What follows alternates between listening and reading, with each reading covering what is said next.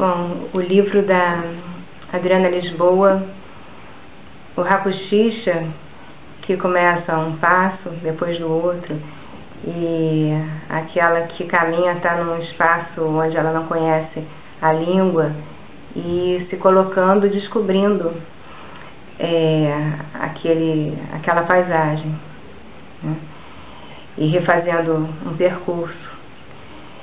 Eu acho que esse livro Hakushish eu tenho ele com muito carinho.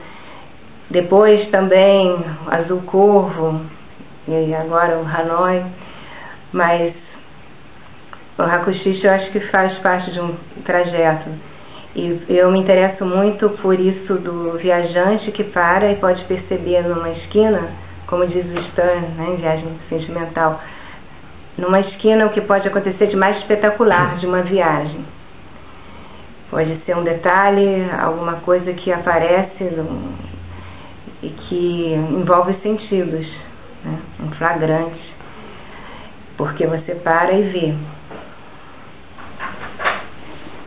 O que me toca muito é a questão do olhar, de então você poder ter esse instante que, como é o da poesia, ou como é o, o da infância, do tempo, o tempo do lagarto.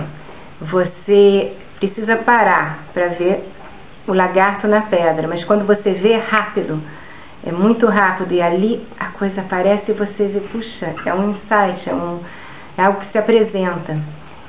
Então, para mim, a leitura de autores que trabalham com, com as cores e com as formas e o que aparece no espaço, como Hilke, ou mesmo a simplicidade e o cotidiano, mas apresentando alguma coisa de um Chekhov, ou você tem os poemas da Emily Dickinson, é, e mesmo o Nabokov, quando fala de suas memórias, aquilo me marcou também. Ele caminhando para uma infância que ele deixou lá atrás e trazendo as cores de São Petersburgo para Berlim, depois para a América, como que ele tenta trazer aquele passado e ao mesmo tempo prever o que ele vai, as lembranças que ele vai trazer para frente.